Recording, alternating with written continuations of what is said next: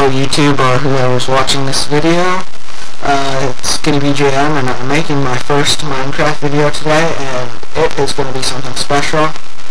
Cave exploration. Um, so let's go over a couple things that we'll need. First of all, you'll need a bucket, or that's optional in case you find some lava or something you want. Some random blocks are always useful to build yourself up over places.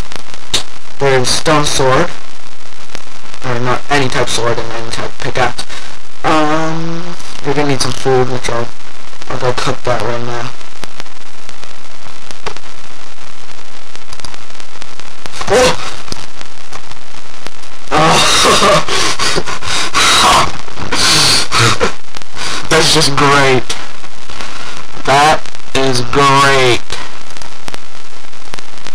Oh, there's no one.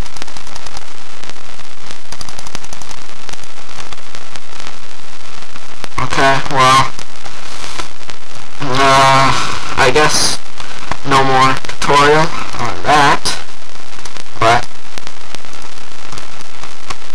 I guess it's going to be a tutorial on how to wreck your house.